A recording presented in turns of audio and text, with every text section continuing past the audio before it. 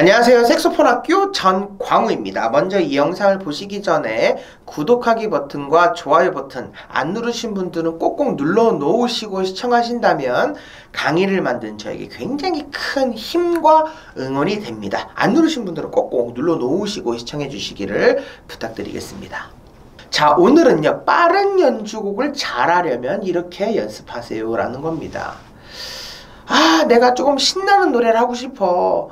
내가 막 빠른 막 연주곡을 하고 싶고 막 분위기를 띄우고 싶고 막 그런 연주곡을 막 엄청나게 잘하고 싶은데 막 너무 잘 안 돼. 왜 이렇게 손가락도 엉키고 막 손가락도 내 마음대로 안 돼. 그러시는 분들이 있죠. 그런 분들은 어, 댓글에다가 저요라고 또 남겨주시면 제가 또 답변을 드리도록 하겠습니다. 그래서 어, 제가 그런 것 같아요. 이렇게 어, 댓글을 달아주세요. 우리가 빠른 연주곡을 잘하려면 어떤 연습을 해야 될까? 그래서 우리가 손가락을 빨리 하려고 어, 선생님 손가락이 빨라지는 연습이 뭐가 있어요? 어, 손이 막 내 마음대로 안 돼요. 그런 연락도 굉장히 많이 받게 되고 손가락 빨리 연습할 수 있는 뭐 뭐가 없나요? 이렇게 하시는 분들도 있는데요. 빠른 곡 이런 연주곡을 잘하려면 느리게부터 연습이 잘 돼 있어야 돼요. 우리가 빠른 곡을 잘하기 위해서 빠르게 연습하거든요. 내가 잘 하지도 못하는데 예를 들어서 원곡 아모르 파티다 그러면 뭐 따다다단 따라라라라 템포가 그죠?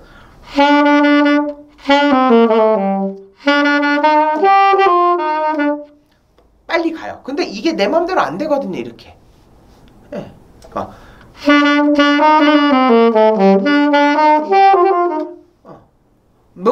머릿속으로는 엄청나게 빨리 가는데 손가락은 안 돼. 그런데 계속 빠른 연습만 하는 거예요. 절대 잘못된 겁니다. 빠른 연주곡으로 잘하려면요. 내가 예를 들어서 그 노래가 템포가 만약에 130이다, 140이다, 그러면 그 템포의 절반 템포, 절반 템포에서부터 템포를 조금씩 조금씩 올려나가면서 원템포로 오는 그런 연습 훈련을 하셔야 돼요. 근데 그런 연습을 하지 않고 그냥 무턱대고 빨리만 연습하는 거예요. 그리고 내가 빨리 막 연습을 하는데 또 어떤 부분은 또 되는 데가 있어. 근데 틀려. 어떤 부분은 또, 또 틀려. 근데 틀린 거를 계속 연습해. 그러면요, 이 뇌가 틀렸던 데는 계속 틀린 거를 인지해가지고 내가 나중에는요, 그게 그냥 틀린 게 내 실력이 돼버려요. 고치기가 너무 어려워지는 거예요. 그래서 그렇게 되지 않으려면 무조건 느리게 연습을 해야 됩니다. 느리게 연습해서부터 빠른 템포로 와줘야 돼요.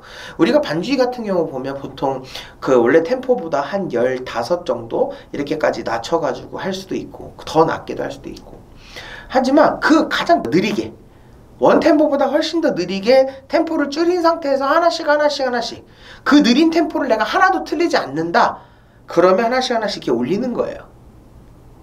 그런데 그러한 과정이 매일같이 있어야 돼. 그래서 신나는 빠른 노래를 너무 잘하고 싶다. 막 내가 분위기를 띄우고 싶고 내가 색소폰으로 완전 즐길 만큼 막 엄청나게 막 연주를 잘하고 싶다 그러면 느린 연습에서부터 치고 올라가야 되는데 느린 연습은 하지 않고 맨날 빠른 연습만 하는 거예요.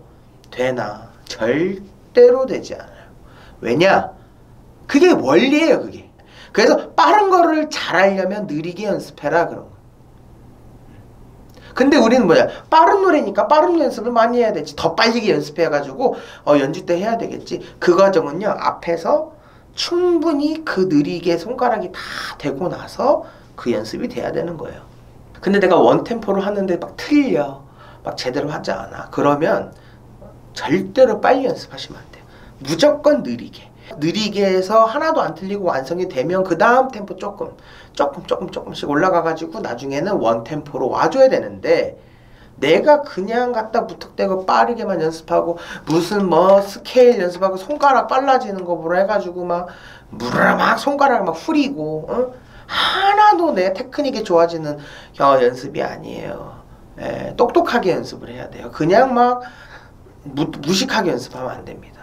아시겠죠? 느리게 연습을 해가지고 기본기가 탁탁 쌓이면 빠른 템포는 막 정말 오 내가 이렇게까지 빨리 될 수가 있나 막 갑자기 그렇게 될 거예요.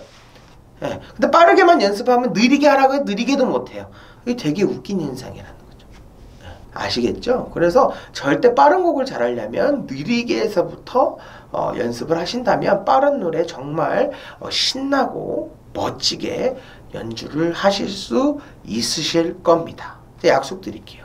그렇게 한번 연습을 좀 해보셨으면 좋겠고요. 또 저희 색소폰 학교에서 또 색소폰 학교라고 네이버에 검색하시면 다양한 교재 악보집 많이 만들어 놨어요. 그래서 여러분들 필요하신 분들은 받아보셔서 함께 공부하신다면 어, 훨씬 더 유익한 색소폰 하시는 여정이 되실 것 같습니다. 다음 영상에서 뵙도록 하겠습니다. 지금까지 색소폰 학교 전광우였습니다. 감사합니다.